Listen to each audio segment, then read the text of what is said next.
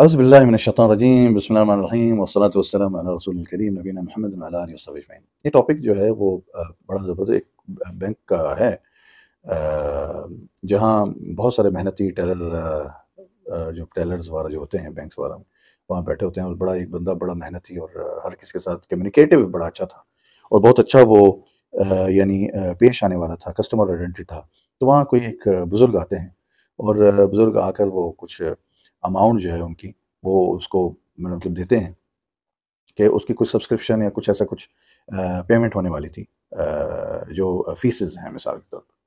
تو وہ جب اس نے اسے کہا کہ آپ نے فیس پے کر دی، تو وہ جو بزرگ ہیں وہ اپنے جیبوں میں ہاتھ مارنے لگ گئے اور دیکھنے لگے، بولتے یار، میں نے تو پتہ نہیں ابھی دیا تھا، پتہ نہیں کہاں گیا میں نے تو یہاں رکھا تھا، میں نے وہاں رکھا تھا۔ تو خیر وہ کرتے کرتے تو بڑا پریشان بزرگ تھا۔ تو اس نے دیکھا جو جو بینک امپلائی تھا، جو ٹیلر تھا، اس نے کہا، اس نے محسوس کیا کہ شاید یہ غریب آدمی ہے اور اس کے پاس یہ پیمنٹ کرنے کے لیے مسئلہ نہیں تو ہو سکتا ہے کہ اس کی پتہ نہیں، بجلی والا کٹ نہ ہو جائے یا مطلب جو بھی پیمنٹ ہے یہ خراب نہ ہو جائے یا اینی ہاؤ تو اس کے معاملات رک نہ جائیں۔ خیر یعنی وہ اس نے وہ پیمنٹ اس کی جگہ کر دی۔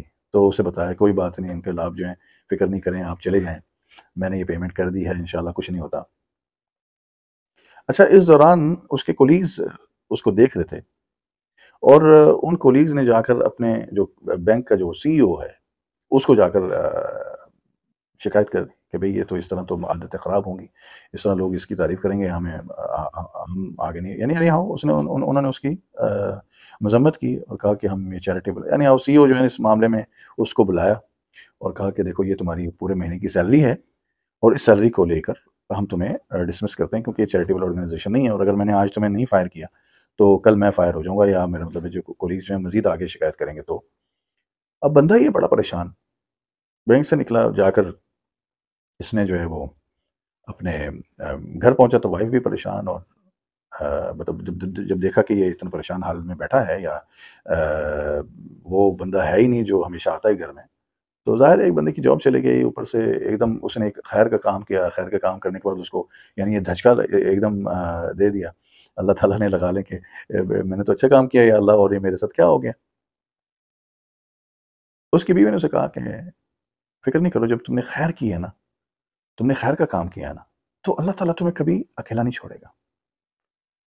دو تین دن ہوتے ہیں، پریشان رہتا ہے کافی، تو اس کو جو ہے نا جو جو چیئرمین ہے جس نے سی او کو رکھا تو اس کا فون آتا ہے، کہتا ہے کہ تم فلاں فلاں ہو اور ایسے ایسے ہاں میں تم سے ملنا چاہتا ہوں۔ آپس میں ملاقات ہوتی ہے تو وہ بتاتے ہیں کہ یعنی ہمیں پتہ چلا ہے کہ تمہیں فائر کر دیا ہے سی او نے اور ہمیں پورا معاملہ جو ہے وہ سامنے آیا ہے۔ میرے بیسیکلی وہ کیا اس کا نام ہے رشتہ دار تھے ماموں تھے، اور ایجنٹ تھے اور ہم لوگ بیٹھے تھے تو اس نے آ کر بتایا کہ ایسے ایسے بڑا ہی زبردست امپلائی تھا اور کیونکہ ان کو انزائمر ہے اور انہی کے پاس پیسے تو تھے، لیکن وہ بھول گیا کہ کہاں رکھے ہیں، گاڑی میں رکھے ہیں، کیا ہو گیا۔ تو آپ نے تو بہت اچھا کام کیا اور ہمیں پتہ چلا کہ سی او نے آپ کو نکال دیا ہے، تو ہم آپ کو سب سے پہلے تو اپنی جاب پر واپس رکھتے ہیں۔ اور ہم نے سی او کو فائر کر دیا ہے اور اب بینک کے نئے سی او آپ ہوں گے۔ وہ کہتا ہے، نہیں، میں کیسے ہو سکتا ہوں؟ آپ اس کو کیوں نکال رہے ہیں؟ وہ اس کا کیا بنے گا؟ دیکھیں، یہ جو اچھے دل والے ہوتے ہیں نا اللہ کی قسم یہ ہمیشہ برے سے برائی بھی آپ اس سے کر دیں گے نا، وہ دل میں اچھا ہی سوچے گا۔ اب یہ دیکھیں وہ بندہ پھر بھی کیا سوچ رہا ہے کہ یار اس کی جاب کا کیا ہوگا؟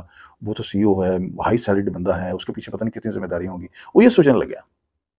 خیر، میرے ساتھ بھی ایک دفعہ ایک کمپنی میں ایسے ہوتا میں نے کسی نے اچھا سوچا تھا تو مجھے میرے گلے پڑا تھا، لیکن اللہ تعالیٰ نے مجھے کافی بہتر اپرچونیٹیز دے دی۔ تو میں یہ کہنا چاہتا ہوں، وہ بندہ سی او بن گیا۔